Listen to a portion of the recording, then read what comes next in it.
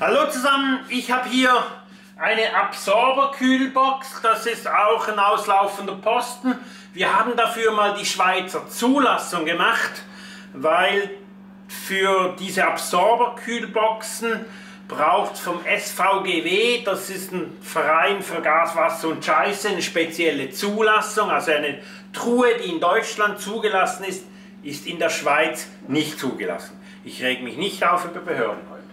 Aber das ist ein Absorberkühlschrank.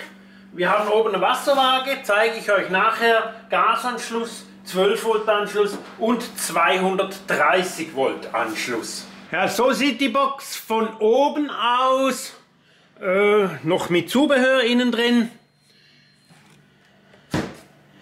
Und hier oben habe ich dann die Wasserwaage, steht ein bisschen schräg, plus AC und hier drüben habe ich die zwei Thermostaten, Gas und 230 Volt.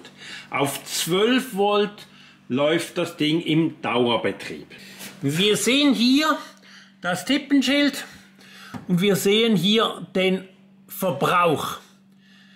Auf Butan, Propan braucht die Box 15 Gramm pro Stunde, da kann man nachher dazu. Und sie hat einen Energieverbrauch auf 230 Volt von 1,3 Kilowattstunden im Tag oder 24 Stunden. Wenn wir jetzt auf den Energieverbrauch gehen, ich habe das aufgeschrieben, der Verbrauch ist 1,3 Kilowattstunden am Tag.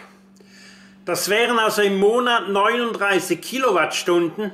Und wenn ich jetzt die Box in Deutschland im Schrebergarten hier irgendwo laufen lasse, ein Monat lang, dann habe ich Kosten von 23 Euro Wasserdrückten. Und wenn ich die Box ein halbes Jahr lang laufen lasse, vom April bis im September, dann habe ich Jahreskosten von etwa 140 Euro Stromverbrauch.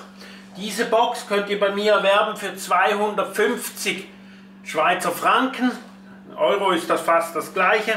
In 10 Jahren oder 10 Saisonen bei euch im Gartenhäuschen wird diese Kühlbox dann 1400 Euro Strom brauchen, plus die 250, dann sind wir auf 1500. Für das kauft ihr schon eine Kühlbox und eine Solaranlage. Ihr habt da noch andere Vorteile, die wir jetzt hier nicht rechnen. Jetzt sagen die einen natürlich, ja, ich lasse den mit Gas laufen. Hm, kein Thema. Der Gasverbrauch, haben wir vorher gesehen, der liegt bei 15 Gramm pro Stunde. Das sind dann 360 Gramm am Tag. Das sind 10,8 Kilo im Monat. Das ist so, so eine Flasche.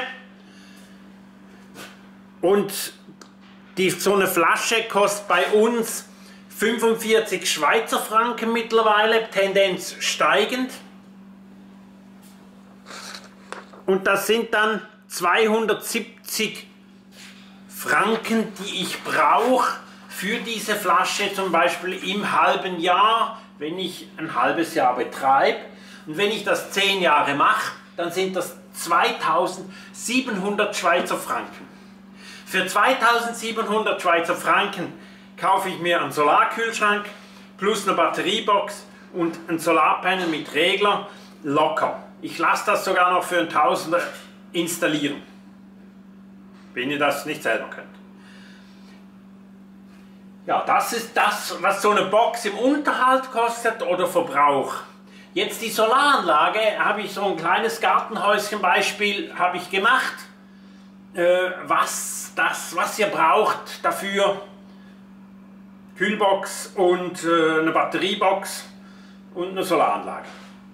Ja, das soll es gewesen sein für heute und ich wünsche euch einen schönen Tag.